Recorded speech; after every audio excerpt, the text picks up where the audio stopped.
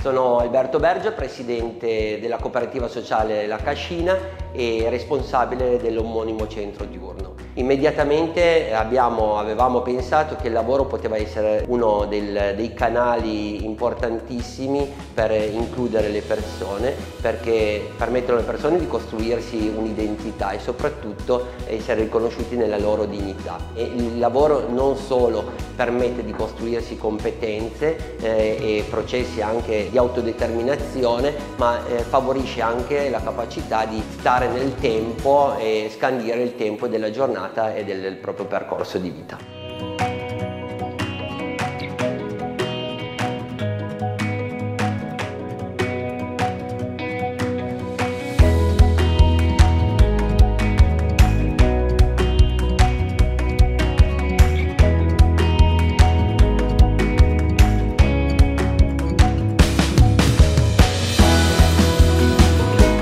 Anche uno spazio di progettazione, di progetti educativi, progetti di vita che consentono di attivare dei percorsi virtuosi e organizzati e orientati eh, al fine di migliorare la qualità di vita di ognuno.